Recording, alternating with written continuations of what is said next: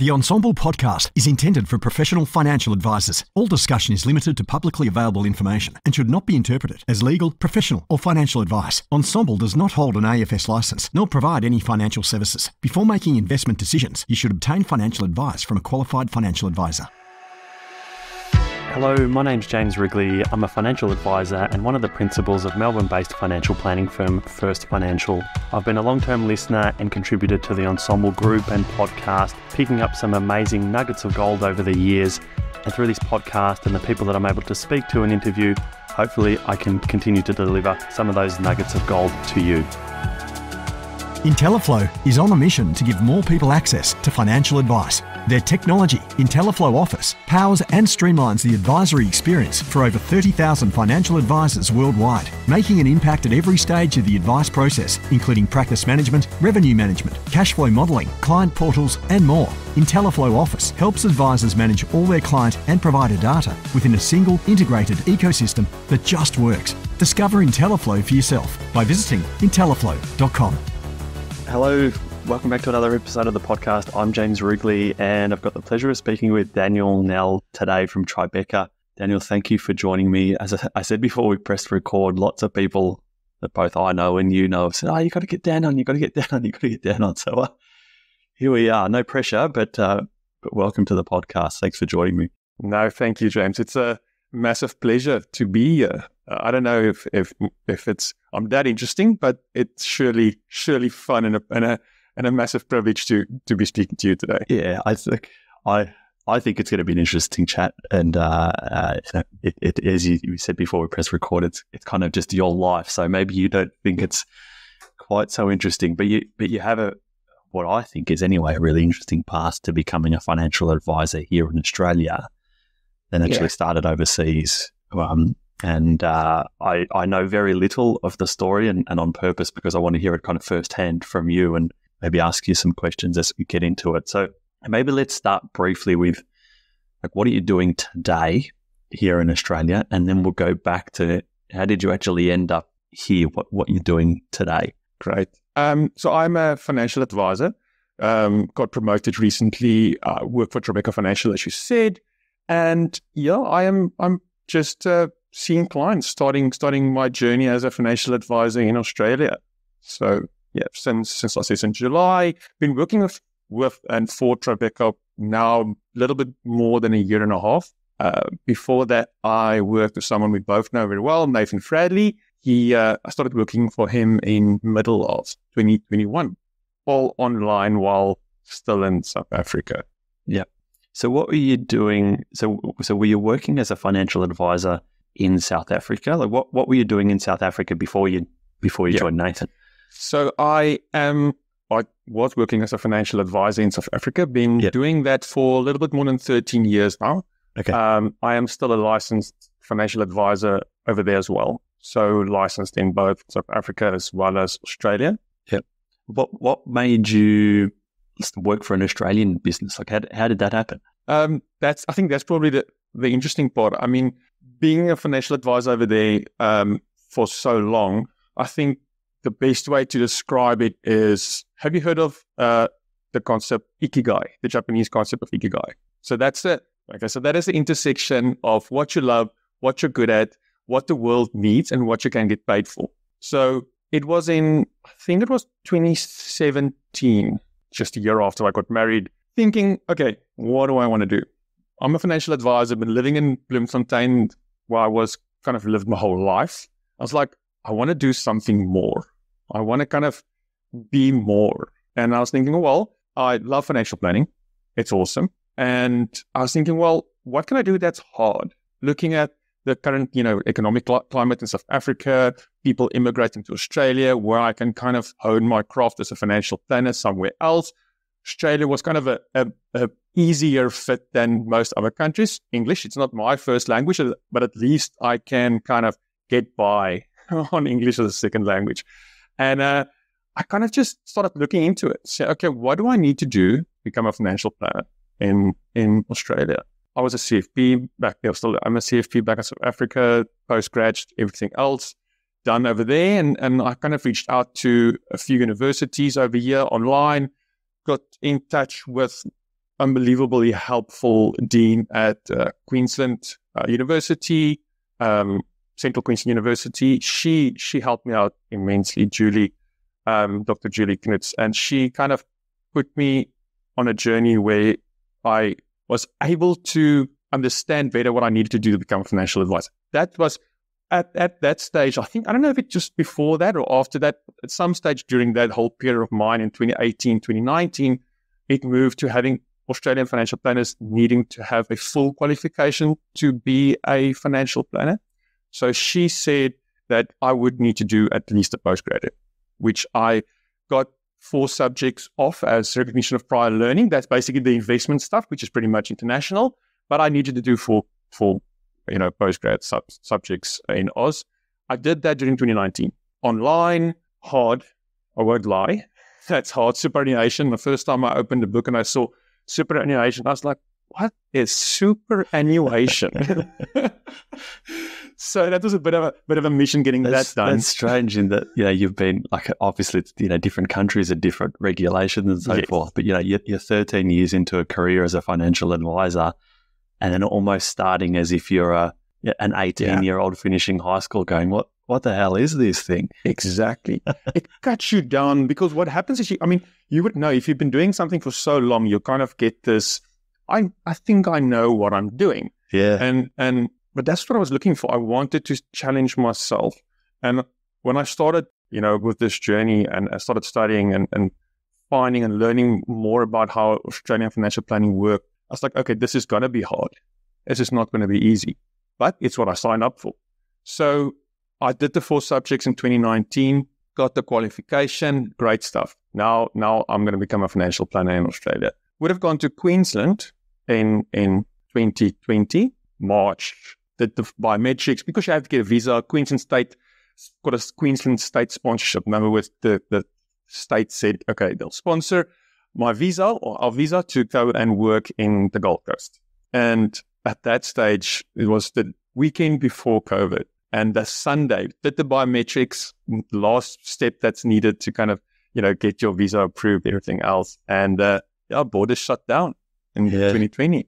So you know that's at that stage kind of as a financial planner in South Africa, we kind of I kind of moved away from from business back home because what happened is we had a kind of a, a biggish financial planning firm with my dad. I worked with him as he retired, I said, "No, don't worry about it. You you do your you do your thing. You know, I'm going to go to Australia with my wife then, and and we'll we'll kind of. I'm not going to go into the you know into the, the family kind of side of business. Yeah, and um, there I was, 2020. Not a lot of clients on the book because you know I just kind of kept kind of kept the the the family, the people that you close friends because I knew that I won't have the capacity necessarily once I move over to Australia to act to to um, efficiently service my clients back home, the full book that I had. Anyways, so what happened is COVID started. Obviously, you know, one week to slow to spread, just kind of kept going, and it was it was a a funny thing. At one stage in 2020, uh, one of the providers in South Africa, they kind of they they had a a online tutorial thing, kind of for the financial advisors, um, where a guy spoke there and he said, what you need to do as a financial planner, you need to see yourself as a brand, as someone that is marked, someone that you kind of have an online footprint for, that you that you that when people search for your name, James Wrigley, they can see who you are, they can understand what you're about, and that's kind of how you you you set yourself up as a financial planner and, the online world. That got me thinking that if I'm stuck in South Africa, not knowing when the border is going to open up, I need to put myself out there. Um, and I started just on LinkedIn. I wasn't really on LinkedIn before then. Didn't see any need on it, you know, need for it. I started just connecting with people, just reaching out, reaching out, reaching out, all the while waiting for the borders to open up. Got to got to um, a site or a network I've never heard of, XY Advisors. It's like, okay, interesting concept. Join, join, join them. And this obviously now, this kind of went over to 2021 while I'm trying to kind of build a network and people that I can kind of just learn from in, in Australia because I was, got worried that I got my qualification in the end of 2019. This is now 20 end of 2020, starting 2021. Who's going to employ this South African guy with no Australian financial planning experience once the, the borders open up? Um, and I'll, I'll never forget this because I, I was I posted on on XY's the wrong wall. Emily sent me a message afterwards. It's like, thank you for joining XY. Great to have you here, but you know, we really don't post any uh, things like this on the main wall. But but what I asked for and what I said on that on that post of mine was, this is who I am. I'm in South Africa. I'm qualified um, to provide financial advice, but I don't have any experience. I'm willing to work for free. I just want to get some experience. And Nathan Fradley sent me a message back. And as Nathan is, the first thing he said, number one, don't work for free. and is number two, I might need someone. Let's chat. So we we we kind of started talking, and I think I, I probably can't overstate the immense help he's been along the way to get to Melbourne, where I am now. Obviously, not in in in the Gold Coast where I would have gone. But what happened is that where where Ensombl now and XY then kind of put me in touch with Nathan. Nathan said, "Okay, well, I'll give the South African a shot." I started working for him on a contract basis, just doing admin work, you can say, basically. Um, you know, the first day, well, I should I should probably say, he said to me, "Well, you don't really have to work Australian hours because it's nine hour time difference. It's going to be hard." I said to him, "Thank you, appreciate it, but I think for me to get most value out of your knowledge, I'm going to have to work your hours." So, kind of that meant getting up at quarter past twelve at night, started working at one a.m. And well, the thing is, no, no, I I wouldn't say that. I, I kept thinking that it's okay. In a couple of weeks, the border will open up. Just a few more weeks, a few more months, it's going to open up, you know, soon. Um, but that was that was the commitment, and I think that kind of ties back to what I said about you know the ikigai. What was my purpose? Because I kind of decided way back when, when I started this whole journey in 2018, was that this is what I wanted to do. I want to do something hard and see what I can be if I really give it a go. So getting up at quarter past 12, you know, started working at one, wasn't really that hard. It was hard because I kind of have to had to figure out a way to be functional. It's just because your brain it it it, it does things to your brain, which is weird, you know. Um, and and at first morning when I when I got there, it's like, okay, please call NetWealth, and, I, and it's like, who's NetWealth? You know, it's like, well, I had to Google NetWealth. That's okay. This is this is who they are. And it's like, and it's just things like that because you're the first stage of of this. And then, like you said, it's like an 18 year old or just finished studies, you start working at, at a financial planning firm. That's what it was for me. It's like I had no idea what I was doing. And no matter if you have the qualification, it, it's the practical small things that kind of get you. And the work experience. You can't, you yes. can't, you can't yes. uh, pass up that work, the importance of that work experience that, that comes with it. So, so how long did you do that for? How long were you getting up at, you know, just after midnight and and, and total, working in the early hours? Um, more than a year and a half. Just yeah, over right. a year and a half. Yeah, yeah. I, um, because what happened was that as I started working with Nathan, his business got bought um, by Tribeca uh, that December, and I had a had a, a, interview with Ryan, CEO of Tribeca, and he's like, "Okay, you seem dedicated. We'll give you a go." You know, Ryan obviously being being the the visionary here he's like, well, let's let's give it a go. Why not? And um, yeah, I did that. A few months later, he said, "We think we'll we can work with you. How about you don't go to the Gold Coast, and we'll give you employer sponsorship, and you come to Melbourne." I thought, well, I've never been to Melbourne. Heard the weather is not great, but you know, let's let's give it a give it a go. So we started the process where um, Tribeca gave me employer sponsorship. Now, what that means on a, on a visa level is they vouch for me at the government, federal level, and state level that this guy has got a job and he is capable to work for us, and we will obviously meet certain certain rules and regulations in in in, in sponsoring him for employment with us. Yeah. Um, that process took a lot longer than we expected. Okay. Um, because they had to first register the federal government to become an employer sponsor. And then my visa as well, um, starting the whole process again. That took another eight months, which is why I kind of did did the the working from from one AM for yeah more than a year and a half. So how long Um, have you been in Melbourne now? since January. Yeah, I got here in January, the fifth So of it's only January. been so it's only been six months, seven months that you've Yes. been here.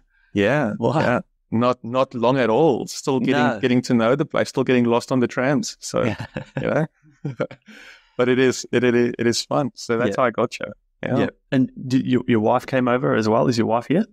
No, no, no, no. That's a that's a different story for a for another day. But um, yeah, uh, Yeah. no. So Yeah. everything ha- everything has its price, eh? So, Yeah.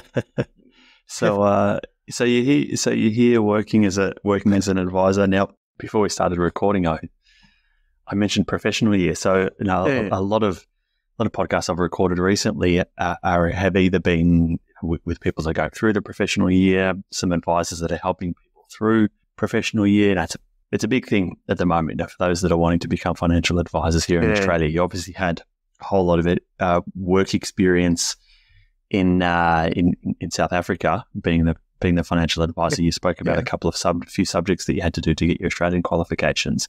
But you mentioned you didn't have to do the professional year. Can you tell us what? yeah, I, I didn't know that that was a thing. How, what yeah. what's what's the go there? So w- what happens is you can you can one of two things need to happen. You have to to be to not do a professional year. You have to prove to ASIC firstly that you are a foreign existing advisor.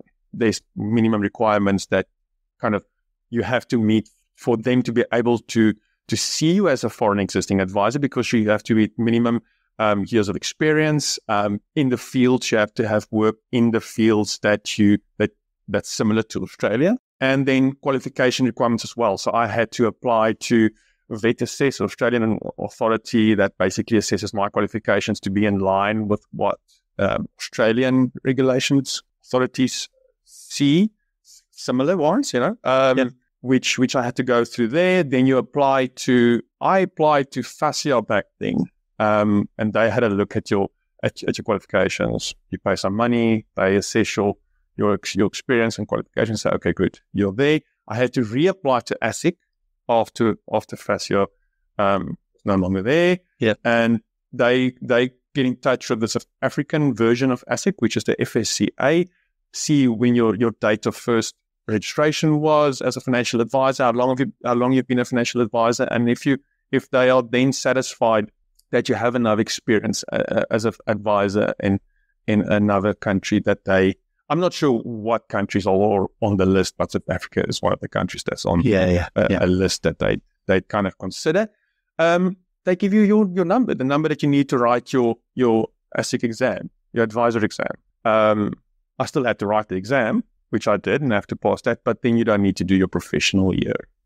I, I kind of have mixed emotions about that, to be honest, um, because what I the, the struggles I had and the learnings I had to go through to become a financial or to to to actually practice my craft as a financial advisor in Australia, it feels to me like I it would not have been a bad thing to for me to do a professional year, you know, as a requirement because it's although I and I'll be the first one to admit this, although I probably although I did not have to do a professional year, I needed to do a professional year, which I did for for nearly two years. On it was online, but you just just just the things that you learn um, you can't transfer. Some some things you can't transfer over from another country, unfortunately. And that, that's exactly the point that I was going to going to make is to say, as- much as you might not have had to have done the structured learning program that that is the professional year, you've done that anyway. You know, the Yes. year and a half, two years with with Nathan, and you know, working whilst you're in, in South Africa, you know, the, the first six seven months or so whilst you've been here in Australia, yeah, you you would have had a a, a learning program anyway. Might not need to have been documented in quite the same fashion. Yeah. And you know, that, like that's the same thing here. The the the professional, as, as much as there's this thing called a professional year now, it wasn't a big deal for us because all of our associate advisors, for the most part, they came from our client services team, so they were calling NetWealth and Yeah. they were working out what forms they needed and Correct. spent a couple of years as associate advisors Yeah. to become advisors anyway. They already had that career.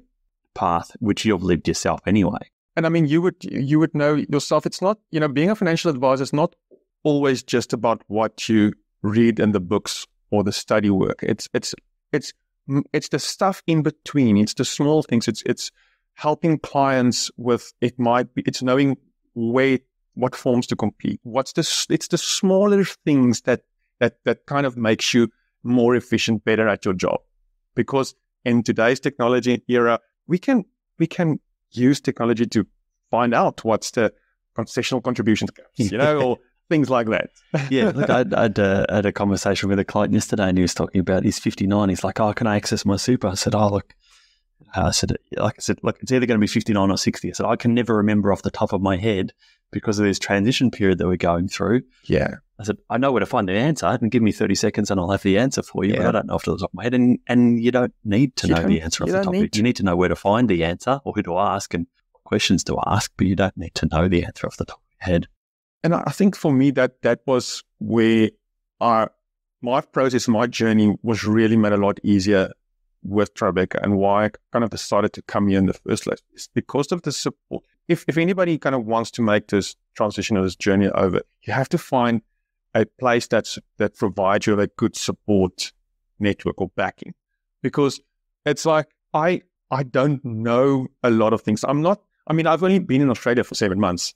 I'm an advisor, but I, I there's a lot of people out there that know a hell of a lot more than I do. Yeah. And and but you have to have someone that you can ask. Or you know, have to if you've got a good team behind you, a support network, it it's doable. It's it's it's a lot of you know a lot of stuff that you have to go through, a lot of um, hurdles you have to get over, but it is possible. And just make sure that you've got a good team behind you, and it's not that hard thing. So let, let, let's talk a little bit about your, your role as a financial advisor with Tribeca. So, you know, you have this, this kind of tagline of my good life or living your good life Mhm. or that's some, something to that effect. But what does that look like in terms of your engagements that you're then having with clients? Like how do you, someone gets referred to you, you get a phone call because they found your website or whatever. Like what, what does the client engagement process look like from that first interaction with Yeah. clients where you're kind of weaving in this idea of the, the good life for them? Yeah. So I think, I mean, if we're talking about where our process starts, I mean, we do what most other firms do, I, I would suppose. We have what we call a 50 minute phone call. We just, we just, once a client reaches out, we talk to them, find out kind of if, if we're a good fit for them and if, if we can actually add value. Just, it's a short call, 15 minutes. We set, we call it a 15 minute phone call. It long. It's just an idea, get an idea of, of we, we, we, if we can help. If we can, we move to a discovery meeting. Again, pretty similar to everyone else's, but I think what we do differently to especially advice firms that I've been at and with in South Africa is that we really go hard on the well-being part of financial advice. And I know it's such a cool term to use these days, but Ryan and Brad and the people at Tribeca has been kind of going at this for a while now, and they they find it, and I think they they it's a it's a consistent process, but I think they got it to a place now where it is really useful to clients. I had a meeting yesterday with a client. We talked about talked about specifically where do you see yourself in ten years, and we use you know stuff like you know Maslow's hierarchy of needs, and we would kind of break that down into into different categories, finding out from them what your goals are in ten years, and and because you know without going into deep step, if you want to go very deep into it, but the, the idea is that if we can get a client to visualize his future, it would create action today because we know what his current situation is. We know what his his bank balances are, super, uh, what what their the income, expenses, everything else. But what we really want to find out is where do they see themselves in the future, so that if we can better kind of better, if we can get better at finding out and and and helping them to visualize their future, we can plan with them along the way. uh, If that makes sense, it's a it's a it's a tool that we use really extensively, and and I don't know if you want me to to um, talk more about how we kind of approach that. Yeah, yeah. Please. So what we do is the first one, first tool we use is, is what we call a financial well-being matrix, and we break that down into four quadrants. First one being, um, what is your sense of security in the present? So we'll ask a client to score his feeling or her feeling from one to 10, one being very low, 10 being very high, and tell us. So, for example, what is, how do you see your sense of security um, in, in your, in your financial um, control in the present? That would be something like um, cash flow. Are you in control of your, how, how in control do you feel about your income and expenses? Do you know where your money is going? Don't you know where your money is going? They'll say six, seven, eight, depending on how involved they are in their budgeting. The other quadrants is your your your sense of security in the future. You know, how do you feel you'll be able to absorb any big financial shocks? We'll then go and say, all right, your feeling of financial freedom in the present. Give us a score. That is, do you feel you can do what you want when you want to do it? Do you feel yep. you have any financial restrictions? And the last one, uh, the bottom right quadrant is, what is your financial? Do you feel you're on um, path to meet your goals in the future? Your financial freedom, you know, freedom of choice in the future. Yeah. Why we do that is, and how I see why we do that is, because well-being and, and studies have shown that clients' happiness are mostly a close closest linked to their feeling of freedom. Is can you do what you want when you want for how long you want? And that's that's that what that's that's the biggest contributor to overall happiness. So, and that's that's true for most people. And that you don't need to. What makes you happy can be different to what makes me happy. You might want to spend time with your wife, kids, and being at work, having a mortgage, paying off of a car loan. That restricts you from doing what you actually want to do, giving you that freedom. The box on the bottom left side of the, the score. For me, it might be going on hikes, you know, working four days, whatever else that might be. So we as financial planners want to understand and break down for a client where the areas are we can improve their lives the most. So if we know, for example, that they score very low on their sense of security in the future, there's a few things that we can do to improve that. Insurance can be one thing because all of a sudden, you know, if you've got income protection cover, you're less worried about your ability to to to earn an income if you can't work. Um, the same thing with your financial freedom in the future. Are you on track to meet your goals? You know, we can do modeling, SOA. We can provide them for financial advice. That's an easy one to do. So yeah, that that's that's that's one tool we use. And then the next the next one would be the the 10 3 now, what we call a 10 3 now. 10 yeah. years, three years, and now. And and as I said previously, what we what we kind of want to work towards is is getting clients to in a smart way, you know, specific, measurable, actionable. Um, you know, we want their goals clearly defined for them so that we know and they know what we're working towards. And that's how we how we kind of use those to to increase their overall well being. Yeah. Where in that so I'm interested so the different different firms have different kind of engagements in terms of the like the delivering of a statement of advice. There there mm. there are firms out there that say there's just there's all, all this work and this engagement and you know, this this four quadrant thing that you've spoken about. And there's a whole bunch of work that you can do with clients. It actually has nothing to do with I actually need to issue you with a statement of advice for your income protection policy. Okay, so where in that journey do clients start paying fees, and and also where in that journey do do they do you deliver them a statement of advice in whatever format that might be delivered in? But let's call it a statement of advice. Where, where are those two things, the, the fees part and the and the delivering of advice? So the discovery meeting we we do if a client's referred to us by an existing client or or via a, a current COI network, um, referred to us, they don't pay for the discovery meeting. A client do pay for the discovery meeting if they just come to us, you know, organically.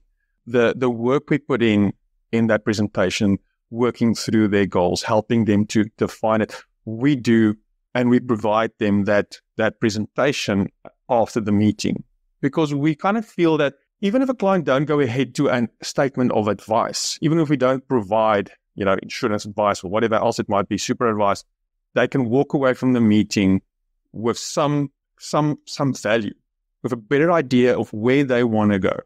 Because great, that that we do. Um, and if I understand your question correctly, if if at the back of that meeting a client feels that we can add enough value and if we feel we can add enough value to them then we move ahead to to actual financial advice and and then obviously the process goes as as Continues on most, from there. most firms. Yeah, does that Yep. make sense? Yeah, it does. It does. And so, who who who are the types of clients that you're working with at the moment? Is that is that been have, like have some existing clients of the firm been transitioned across to you? Um, like you as an individual advisor, who who are you working with at the moment? Yeah, I think in, in due course, yes. But I, for me personally, I have a being through the journey of immigration and understanding very well what it takes to get here. My my niche, the people I want to help, that I think the area I would be able to provide the most assistance in is South African expats who have moved or want to move to Australia. You know, before before moving here, I didn't just decide I want to come here. I did a bit of market research. So I, I know there's 200 South Africans in Australia who was born in South Africa. 200,000, 200,000, right? I know there's 10,000 just in Melbourne. Um, there's, there's enough people I can help here. Um, South African rules and, and what kind of kicked me off, um, you know, once when I said about the Ikigai, when one of the, one of the, the intersection, one of the things that I, that I talk to is, is what the world needs. In South Africa, what happened is in 2021, Pension Fund Amendment Act came into effect where once you immigrate, you can't take your retirement money out of a retirement fund for three years after you moved to another country. So we have a bunch of African people currently in Australia who have money in South Africa who can't get their money. So they need a financial advisor over there, might have a financial advisor over there, but also one over here. I am licensed in South Africa, but I'm also licensed here. So that puts me in, in, a, in, a, in a pretty unique position where I'm able to help them in both countries, where I would be then, and obviously I understand the process, the budgeting, what it costs to get here, the, the emotional, psychological toll it takes on you to, to move across. So Incredible. that one, Yeah. that, that's kind of my niche, if you want to. Yeah, and, and so that. once you once you start to kind of market that in one way, shape, or Mm. form, I suspect you'll be quite successful at it. Like you know, just as as you're talking there, I would, and I'm, I'm trying to attract South Africans that have come come to Australia, but but I would every year probably talk to two or three that Yeah. that have. They just you know, Yes. somehow or other find their way to, to talking to me. Um, and they all talk of, we came here, you know, we had to, had, had to kind of give up everything and we came here with, with nothing. And, you know, we were, Yeah. That ha- had some level of, you know, success or wealth or whatever you want to call it in South Africa and then gave it for the most part up to, to come here and start again. Yeah. Um, yeah. There's a lot out there that need that help. That's true. And, and and the thing is, it's such a I think very few people really grasp what how how, how what burden how hard it is to actually uproot your whole life and move it to another country. You know, it's it's it's it's a hard thing to do. You you invest a lot of money because it, it it's very expensive to do it. You know, so not everyone, you know, gets a a company who pays for their containers or pays for their flights and everything. That's not how it works. So you have to a lot of these costs you have to kind of fit yourself. So people who use their life savings to move here to try and build a better life.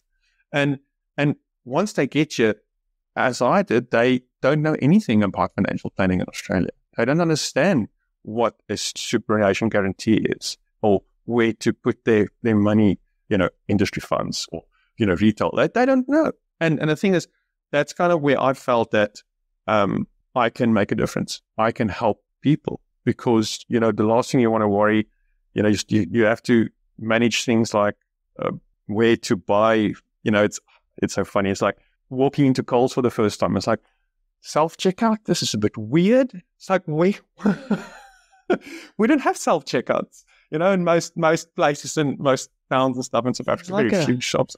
Actually, There's a whole series, like there's a whole series of just relatively simple videos that you can do off of that to just you know start putting on LinkedIn, TikTok, Instagram, wherever. Of yeah, you know, Yeah. just the, the self checkout at Coles. How do you navigate the self checkout at Coles? Yeah, It's it's it's, it's, it's incredible once you start to think Yeah. about the opportunities that are there. and the thing is, if if you look at if you look at at financial planning and what we can, the difference we can make in people's lives is, and and you know, I'm a, really a firm believer that we can make a massive difference in people's lives. We really make. It's like we help people uh, it might sound corny to some, but we help make people's dreams a reality. We help them plan for a better life.